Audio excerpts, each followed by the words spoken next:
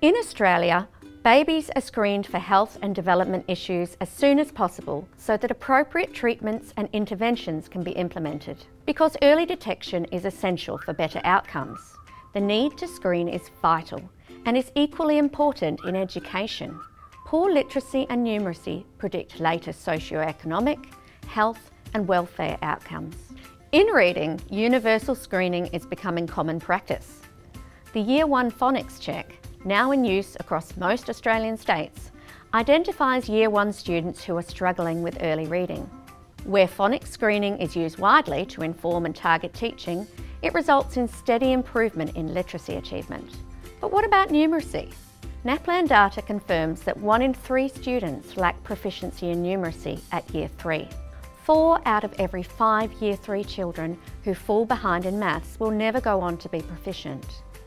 Yet early detection of numeracy difficulties is a simple solution and can help teachers ensure that extra resources and instruction go where they are most needed. In early numeracy, developing strong number sense is crucial for success in mathematics and is the central focus of screening. Screening isn't about assessing what children already know or what they need to learn in maths. Teachers already have various tools for this. Instead, screening helps identify the key skills essential for progress in maths, pinpointing which children lack these skills and ensuring they receive the targeted support they need to develop them. To make solid progress in early maths, students need a connected understanding of small numbers. Research shows that number sense encompasses three key areas. Number knowledge, which includes recognising numbers and counting.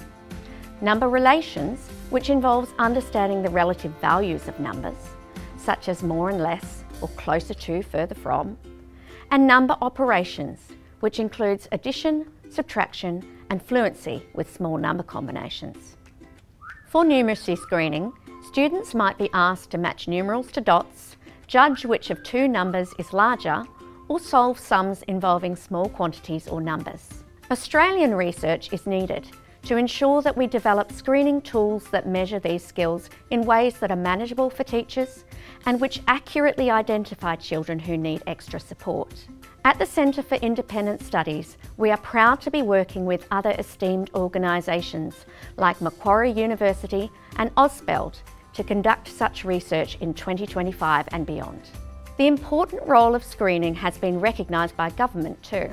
Federal Education Minister Jason Clare has mandated early literacy and numeracy screening as a condition for $16 billion in funding delivered to state education budgets.